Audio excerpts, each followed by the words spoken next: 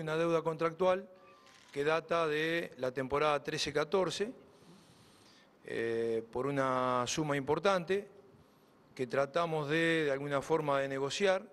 Habíamos llegado a un buen acuerdo, a un acuerdo bastante digno. Eh, hoy por la mañana, lamentablemente, eh, no se hizo efectivo y bueno, y se tomó una decisión que ustedes ya la conocen, que se le hemos comunicado a la AFA, hemos hablado con los muchachos Rafaela, obviamente este, ellos lo entendieron, pero bueno, tampoco no podían esperar tres o cuatro horas en un vestuario, estamos hablando de fútbol profesional. Y bueno, la idea es tratar de, jugar el partido en otro momento. Los futbolistas, en definitiva, están reclamando lo que les corresponde.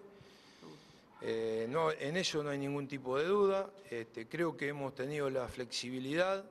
Lamentablemente hay mucha gente que no, que no ha entendido el mensaje.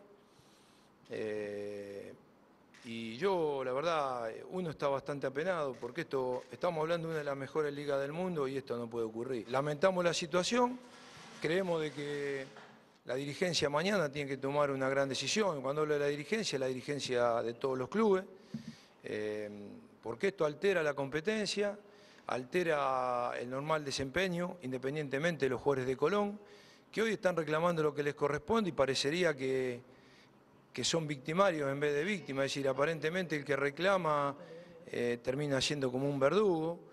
Nosotros decimos que los puntos se ganan o se pierden en la cancha, ¿no? Colón tiene que afrontar también afrontar también la dificultad que tiene con el Atlante. Entonces quizás esto es un momento de reflexión. Yo se lo expliqué a los jugadores, también se lo expliqué a los dirigentes. Me parece que la suerte de un campeonato se tiene que resolver dentro de un campo de juego. Y como alguna vez dijera una persona muy importante, a los muertos no se les cobra.